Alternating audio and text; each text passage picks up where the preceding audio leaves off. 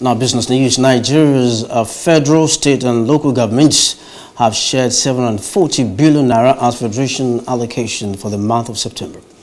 This is 43 billion naira, more than the amount shared in August. The federal government received 41% of the money, which amounted to 301 billion naira.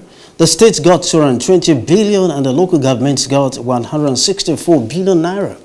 Oil producing state received 54 billion naira as 13% derivation of mineral revenue.